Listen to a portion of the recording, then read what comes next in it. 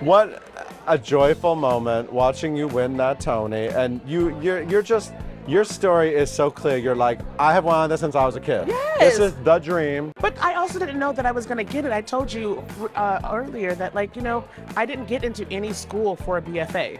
Like, all the schools that I applied to quite literally said no. So, the journey when you're looking at musical theater as a career is, you know, you audition, you audition, you go to school, you get a BFA, and you come to New York, you struggle. I didn't do any of that because no one accepted me.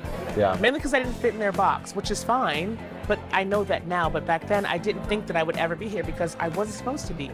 And you're still a nice person, and you not everybody was nice to you all the time. I mean, you, you fought to get to this place. I have fought tooth and nail to get here.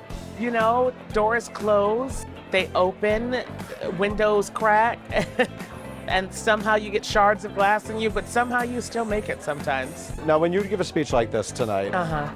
There's an extra weight to it because you know this is going to be one of those speeches the children are going to be watching on YouTube Yes. and, and you know seeing what you said and Of course, because I was one of those kids. I was always watching to see who would inspire me to actively want to keep doing it most times. It's not just about wanting to do it, keeping doing it is Yeah. a big part of it. Hey, baby, that's my friend. I'm Yes. sober, I promise. Come here. Come here. We gonna do this? yes, we're going to do this. You look fabulous. Oh, Oh, come on for booze. You two superstars just walked into history together tonight. Hey, we did that.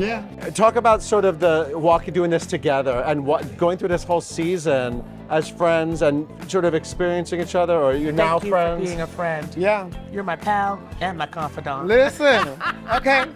No, it is. you. It is quite literally wonderful to have someone that is your rock, that is on the same level, the same trajectory, the same mindset, wavelength, all of that. Because imagine doing this alone. You don't have a support system, and I could call, text, beat. If I wanted to reach you, I could have, and I'm so happy to have had that with you, Yeah. my auntie sister. Truly that. Truly that. Like every time we get together, it doesn't have to be like all the time, but when we do, it's just auntie energy, and it's like the understanding of I have a touchstone. I have a place where it's a soft landing that I'm like I, I know no words need to be said. I got you. This is a community that loves trailblazers, that loves original voices. Just look at the, the array of winners tonight. I mean, it's a beautiful array of people, and we heard a lot in the speeches about individual voices and about these voices that Broadway brings the world. Yeah. What's it like to be a part of that, and what's it like to celebrate with these people at a party like this?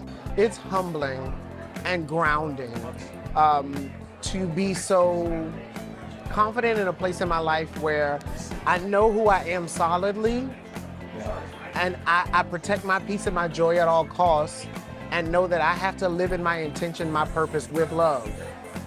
I just got to do what makes sense to me and everything else is noise.